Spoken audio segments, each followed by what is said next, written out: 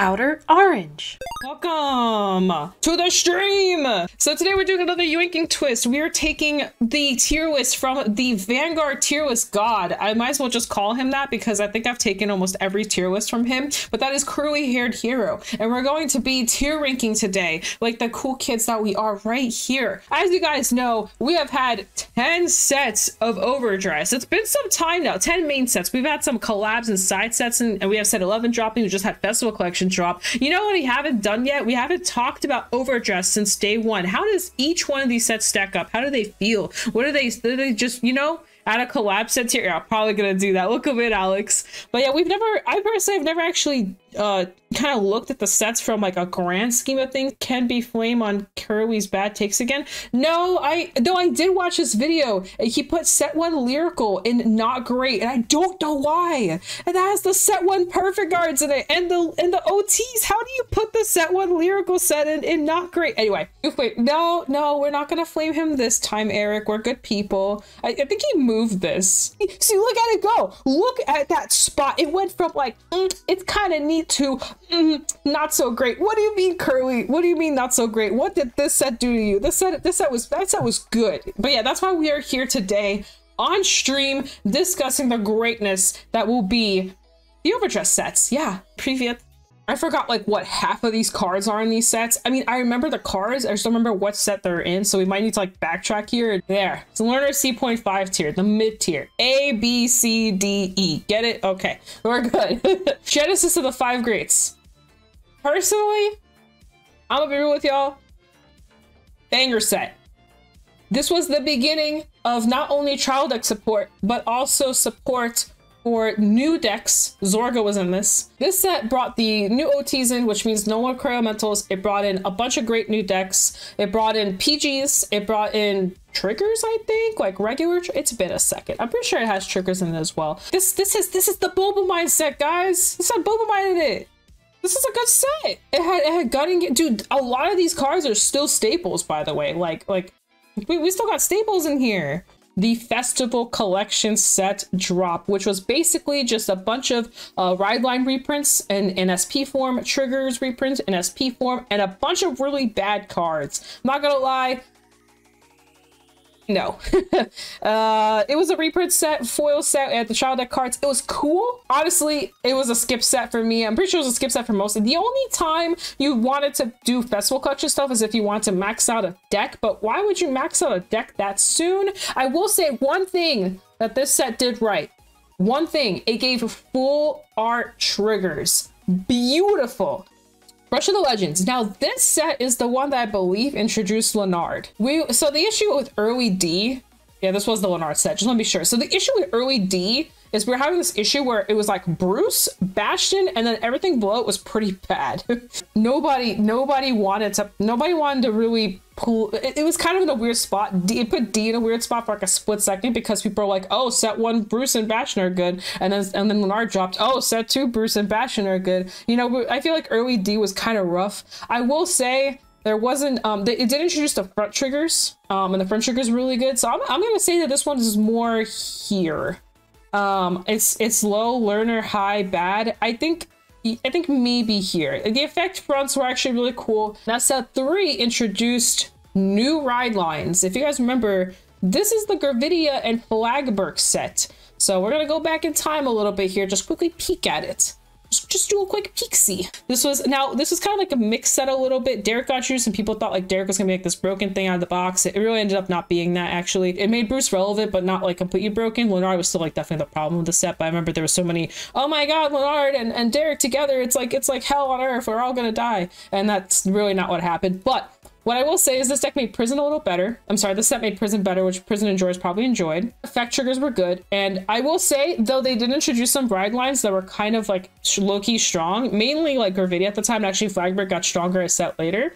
But I remember, I remember I was one of the people that's kind of upset during this set. I was like, oh my god, more ride lines because we had like older ride lines that still weren't getting support. However, surprisingly enough, it was actually a pretty fun set. Like we got Gravidia introduced, and that's when like the, everyone started combining Gravidia and and, and uh, Orpheus together. We kind of started doing this thing where like, well, we can have one ride line but play a completely different deck. So personally, I think this is right below. This is in the below banger tier. So it's not banger, it's just right below it. It's just it was a, it was a good set.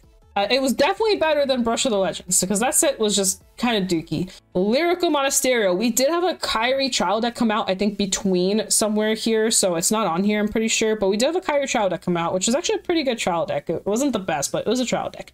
But then right after the trial deck came out the set one of Lyrical Monasterio. And this was the beginning of Catgirl and Elasteel and Felty Rosa and Valista, old Valista that some probably don't even know exists because new Valista is just that much more impactful. And this was the introduction of OTs for, for Lyrical Monasterio and Bermuda Triangle and the, and the other format, along with Perfect Guards, which they also finally got. And I personally, I think this set was actually banger.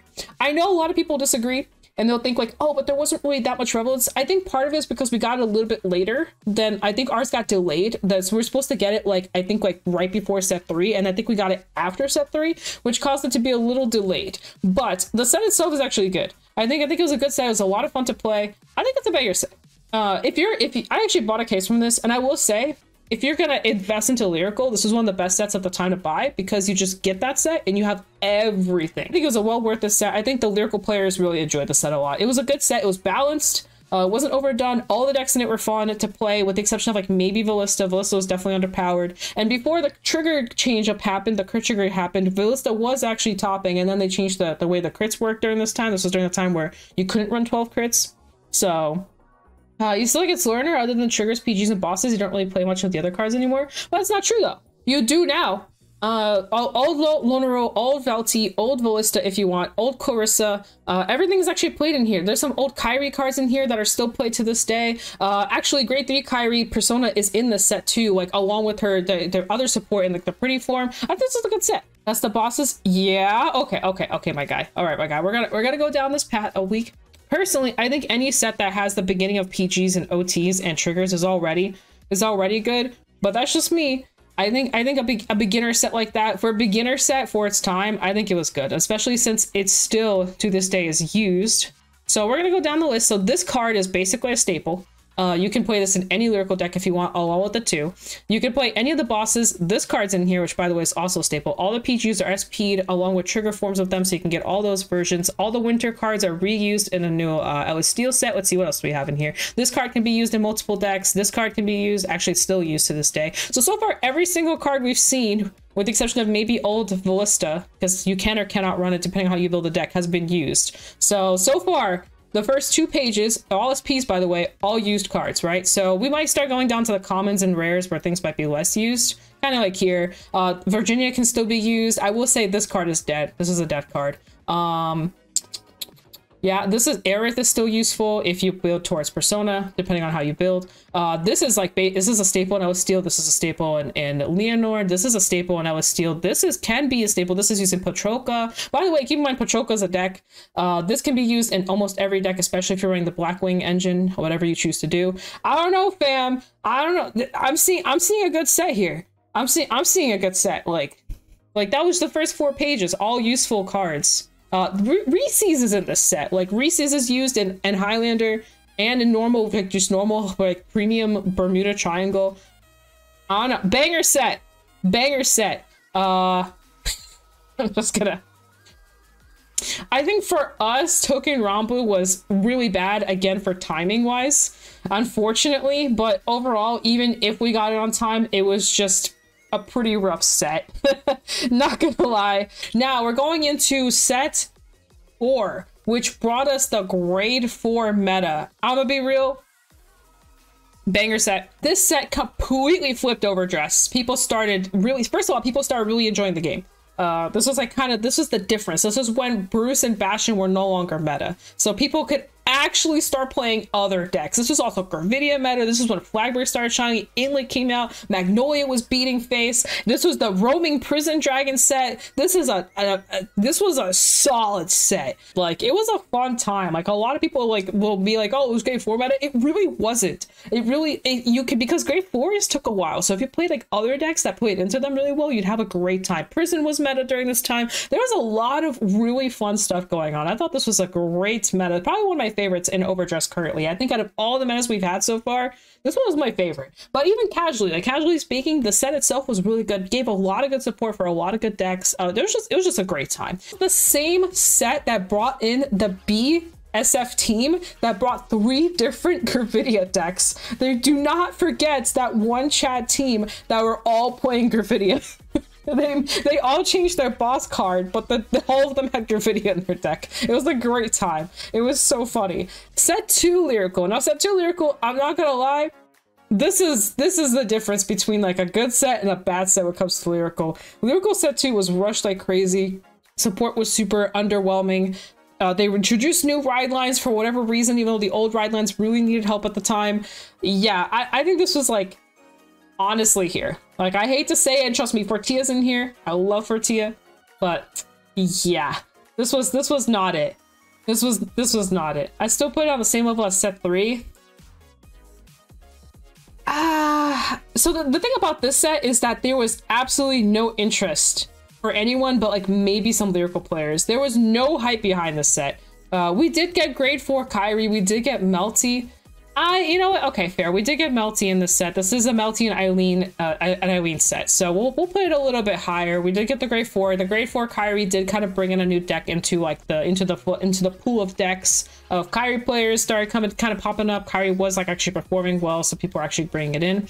We have all the effect triggers. You're right. So yeah, we'll throw it in there. This was an effect trigger set, which really helped Lyrical because that's another reason Lyrical got so behind was Lyrical went through this situation, which I really hated. And it was like, hey, everybody got effect triggers except except lyrical it was like okay cool we'll just sit here with our vanilla friends and our vanilla crits yeah okay sure now set five brought in the counter heals pretty sure this is the one that brought in the counter heals this set was like a lot of things wasn't it? I actually think this set was kind of good.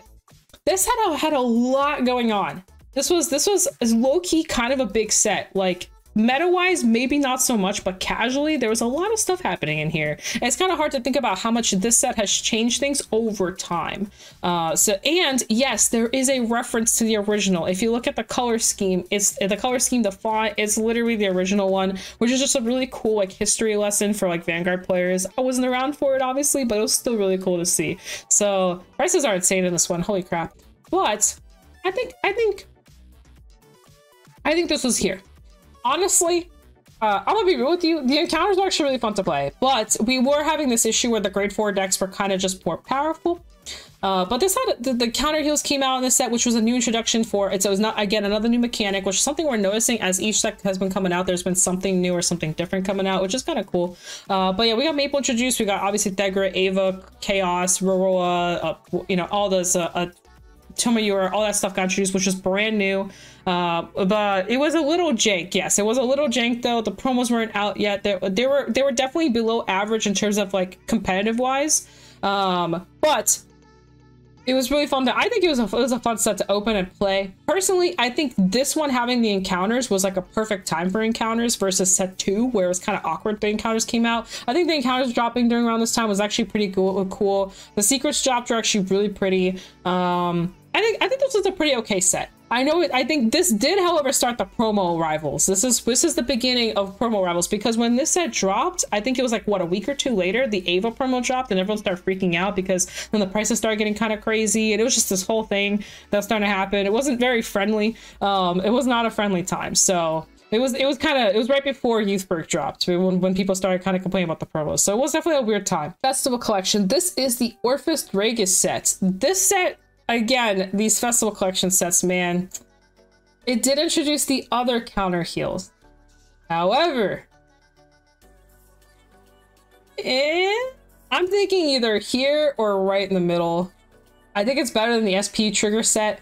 Okay, fair enough. I think we can keep it in there. I think I think the set was like a little rough on the edges though. It was it's definitely on the on the low end. I think I think it could have been but a little better uh, a little bit more interesting. Uh, but uh, people did like the Bob stuff in here. I do now that we're thinking now that I'm thinking on it more, I do remember people were getting super excited over the Bob stuff. Zorga did come out during the set, which did introduce a new, completely new build for Zorga, which is something new and fresh for people. Shaman King, I think, was a little late, but it's like high mid. High, mid, barely touching bangers. So the thing about the set is people of the Shaman King area were like super excited about this set. People are like, oh, bonkers over this, but it kept getting delayed. It was like originally supposed to release like a lot earlier, and we got it so late that it kind of lost like all its all its hype. Yeah, it came out wait. This is another one of those sets that dropped way too late. This one I think was had the most delays on it. I think it got delayed like two or three times. Um, so Record of Ragnarok got delayed too. Record of Ragnarok was supposed to drop a lot sooner, and that got delayed. Like we had a lot of delays during this time. So I think I think Shaman King could have been like a, a, a kind of like a banger set almost if it didn't drop so so late. But honestly, the cards in there are pretty good. The OT was really good. Had some good decks in it. We saw some results too, like on the competitive side. Casually, it seemed like people really were hyped about it. So, like I said, not the best, not the worst. To the trials. Now, the trials are kind of weird. I think the trials were good, but the I feel like most people are buying them for the element of element the the, the sanction tube basically, uh, which was good. Uh, and I don't know, they're they're pretty good. They have some good cards in them. I think I think I think mid is the good spot for them. I, th I think mid is perfectly fine. Uh, just in the middle. I think I think they're fine.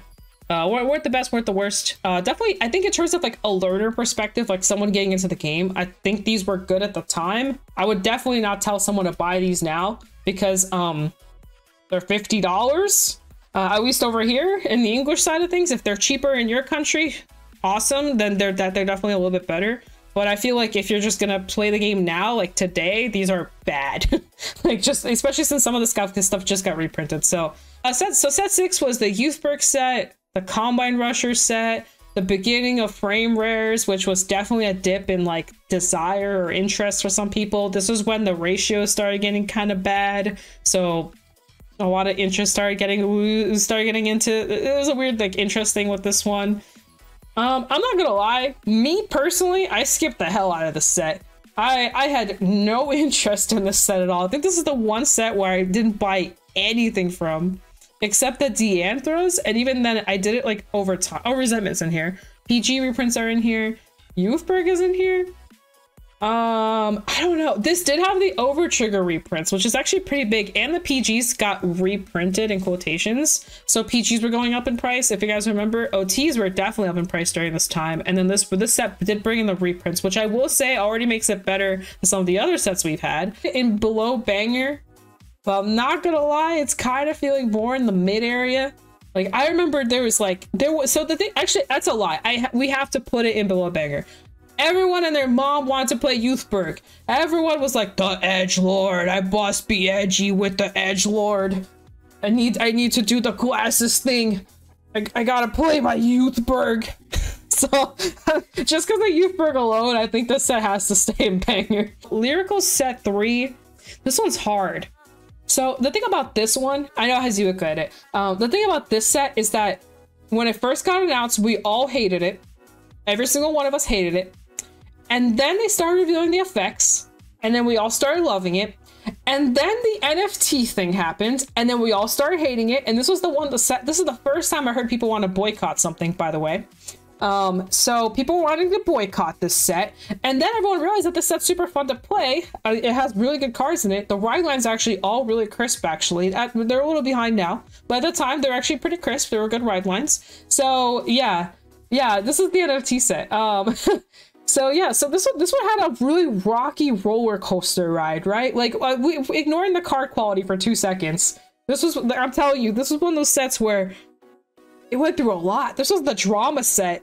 Uh, I know, I know, I know what's notable in here. But, you know, we got to think about like what was happening before we even bought this set, right? Like, like what was the community thinking? And the community was going, this, there was so much drama around this set. It was ridiculous. I do believe that this is a below banger set. As a set on its own, it's amazing. This was one of the best lyrical sets that has come out to this day. I think, I think this set beats some of the Bermuda Triangle sets, like from, from, like this is one of the best lyrical Bermuda Triangle Nation sets. And the reason being is because it was balanced it was good. The cards and bo bosses were good. It was just overall a really fun set. Like if you wanted to play lyrical, this was one of the best sets to play on, play in. It was so good. Like I, I think this set was amazing. Uh, so personally, I think Below Banger is a good spot because of everything that's going on around it, along with the NFTs and everything. I, I don't think we can we're allowed to put it in Banger. I think that would be like an insult of injury to put it in the Banger slot. So I will say I was not happy about the fact that they dropped six more ride lines after we already got like five. We already got six ride lines plus Fortia plus Herminia, and then they were under supported. And then this thing dropped, and it's like, here, have six more ride lines. Now we're at 14 ride lines. It was way too much, way too fast. This could have easily been like five ride lines, maybe even three or something. And they could have slowed it down a little bit. But pacing was a little fast, but the decks are cool. Set seven Ah, set seven. What what's set seven? I know Eric I think this is another set I hard skipped. I think I skipped this. At the exception of the flagwork support, I think I hard skipped the set. Let me see what's going on in set seven. Ah, the Tempest the set. Ah, I see, I see. I see. I remember this set now. I remember this also had the encounter reprints and Velstra. That's right. This was a uh, this was uh everybody else was super excited about this set but me. So I'm just gonna leave it to y'all on this one. Definitely, definitely a bullet banger set. I think I think opening wise, this was this was a blast for people. So yeah, we'll play we'll play below. No one runs was pretty yikes though. Yeah, I mean, can't win them all, right? I mean, all right, Minerva. We're slowly starting to get towards like we're starting to you know hit hit comb territory here. So Minerva's Rising. This is the Chalice set, the introduction to Regalis piece. 8 was another banger. I think I think honestly set 8 might have been a banger. I, I remember getting I remember there's a lot of a lot of hype. Yeah. Oh, that's right. This is the waifu set. This is the Archite set. Oh my god, this is the Ava set too. Ooh, Makani. Oh, Maelstrom dropped in this one too. Ooh, dude, I it, it feels like it hasn't even been that long. I already forgot how good this set is. All the glitter decks got massive boosts. You're right. Oh my god. This is this is yeah. This is a spicy set. I'm not gonna lie, the Regalis piece was pretty nice too because it was a new mechanic introduced. I think I think for the OGs, this was a really good set, especially to the zero players. Uh, as you know, zero art goes crazy. The Lugia zero art is insane. So very very beautiful card. 10 out of 10. I remember when this dropped, even me not being a big lyric, uh, Lugia player, I was like, wow, like that look, this looks gorgeous. Like this is a beautiful card. So yeah, I think I think they did well. I think this set was perfect. Oh, also the FFRs changed in the set. So I'm not gonna lie, y'all. I'm not a big FFR person. However, this I'm okay with. So the way they did these FFRs is that they had the art kind of going in. Not the best. Still prefer the full arts, of course. But I, th I think it was pretty fire. I like I like the way they made these. Jets. I'm not gonna lie, y'all. I know we've been in jet meta since basically the release of this thing, which was February. But I think for the introduction of new players playing the game, price-wise, it's got to go up here. It's it's got to go up there. I know. I know. Uh, this is coming for someone who hates this deck, by the way. I I, I don't want to play it. Why is the place now? From from a standpoint of getting players into the game and price wise and the set itself including the plaque by the way if you get the fancy version. And uh i hate playing against this so i have to play it okay well we can't look at it like that. It's not just about like playing against it right? You actually soldier jet. I hate it but it did have the buy one box and top. Look like i think i think in terms of getting people into the game. Uh this was an amazing set. Like yeah meta-wise, competition-wise, very annoying deck. I get it. But introducing the G-Zone, uh, introducing like just basically different mechanics from what Overdress was already doing. For the players that are just D players, you gotta remember like we're thinking as players that play the other two formats. But if you're only playing D, this set was cool. This was a cool set for people to try. This set, like, if you you remember all the box openings everybody did, like people were hyped about this set. Dragon Tree. So this is the beginning of the Dragon Tree archetype stuff. So we started seeing all the all the weird like I guess the beginning of like all the weird stuff. I don't know what to call it. I want to say it's either here or right here at the very end. The reason being is reprints, new ride lines, support for old decks, uh, generic support for new decks, right? It kind of had, it checks all the boxes of what you want out of a set, right? Messiah, same as Jet, a banger. I think for us, Messiah had a weird delay issue because we had like a, as weird as it sounds, Messiah was way more overhyped in Japan than it was for us. I actually think Messiah is probably in the very top tipsy part of, of here. Uh, now again, going back to the argument as before, if you're a new player going into the game, this was a really good set to try. Another good set to try. From like a trying perspective, if you're trying to pick up the G-Zone stuff, trying out the Crest stuff, just want something new, don't want to drop like $300, $400, this is a really good set. This one is slightly worse though than the Jet set. It's kind of like if you're a new player trying to buy into the game and your option is Messiah and Jet, you're gonna pick Jet, right? Like I literally like we had a, we had people come to my locals on Monday, people trying to get into the game and they're like, yeah, yeah, I really want to try Vanguard. And I was kind of giving them some options. And one of them really fell in love with the jet set. They really wanted to try it because they thought the mechanics never cool. They played Vanguard like the first couple years, so they're familiar with the G zone. And then um and then they're kind of like iffy on the Messiah set. And they're like, okay, like which one should should I get? Orange. Should I get the Jet or Messiah? And I was like, if you want to have a competitively viable deck, you pick Jet. If you don't care, you pick Messiah uh, or pick either. It doesn't actually matter. And they ended up picking Jet because Jet was the better the better option in terms of just everything that was in it and just the, the strength and the viability of the cards in it. Set 10. Set 10 is a pretty spicy set. We're gonna go back here. Just gonna kind of look at it just, you know, just to give as a reminder. Because it like just dropped like a month ago. It's pretty recent. The introduction to mask cards. Uh, all this other stuff. I think hype-wise, this was a very hype set. This also introduced cycle cards. This was used the mask order. Anime-wise, people are going crazy. I think I think this is the bigger set. I think I think set 10 is pretty spicy. The only thing I don't like about some of these sets is that you have like this like you, have these cool ride lines kind of being thrown in between, and then you have like the power creep of like Jack and Diva and Ava just like saying screw you. yeah, Gandiva is a definition of why. It's not that bad. It's not that bad to deal with. It's annoying, but it, ain't that bad. And I don't know. I'm I'm one of the few people that I don't really care about facing Gandiva. Uh, they put the starter. I'd rather be Gandiva than Jet. Maybe it's just me. I just I'm so tired of seeing Jet. I'm just tired of the deck. I'm tired of the triple drive. I'm tired of the multi attack. I'm tired of the toolbox. I'm tired of the soul charge, soul blast two draw card. I'm tired of Jet. I'll be real. Um. So we can rank them just for the shits and giggles. This set is just gonna be in there because we're not getting it, obviously. Uh, Token Ranbu, I think, is gonna be in the banger tier somewhere. Uh, set 11 sounds so set 11 to me feels like what Festival Collection is right now. It's one of those sets where there's a bunch of really cool stuff in it. It's not really doing much, but it's all really cool deck build building ideas and strategies and all this kind of stuff. And I think people are like really underestimating all the small niche techs that people are gonna be throwing in. And I think it's gonna be a below banger set personally. And then I think these are actually pretty hype. I think these are the better of, of, the trial decks. So I think these instantly go in here with maybe the exception of what was it? This one that was sucky? One of these was sucky. Soon. There. We'll just throw them in there. There we go. The Cycle Cats look good. Yeah, we got the Cycle Cats. Uh, we got a couple things in there that are kind of coming. So it was gonna be interesting. And one thing I, I noticed that I kind of forgot about, me slurp on some water. So one thing I'm noticing about every single one of these sets with sets with the exception of collabs and the exception of like maybe one set in here every single set introduced something new. Which now that i think about it is actually a really cool way that they've been doing it. Like i never really realized it but if you think about it set one was the beginning right? You got the over triggers got the pgs whatever.